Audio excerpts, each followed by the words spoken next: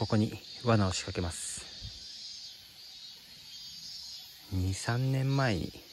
鹿がかかって動画にも上げた場所なんですけど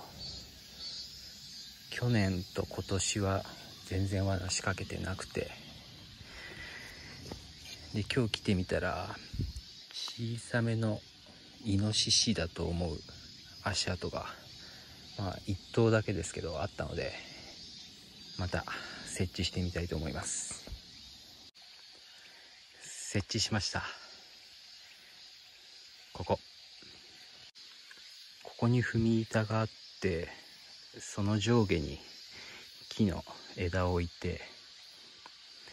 獲物が歩いた時に木の枝をまたいで踏み板の上を踏むようにそう設置してるんですけどここに丸が踏み板の丸があったとしたら真ん中を踏むんじゃなくて結構端っていうか、まあ、特にこう進むとしたらこのどっちだ進む方向の端っこ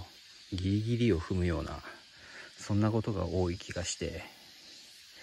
最初この太い枝2本でやってたんですけどそうすると端この太い進む方に近い太い枝の隅っこを踏まれたら踏み板が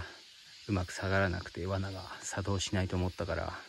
その手前に細い枝を置いてギリギリを踏んでも踏み板が作動するようにしました。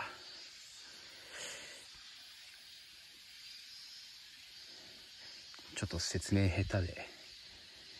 あれなんですけどまあはい。そんな感じです。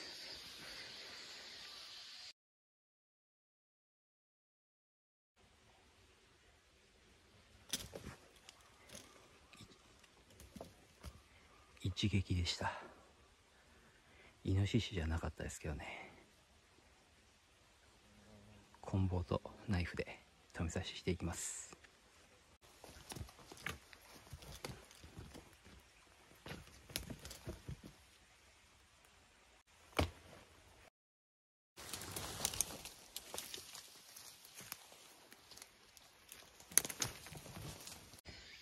車に積んだので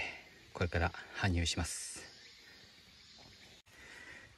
多分この足跡が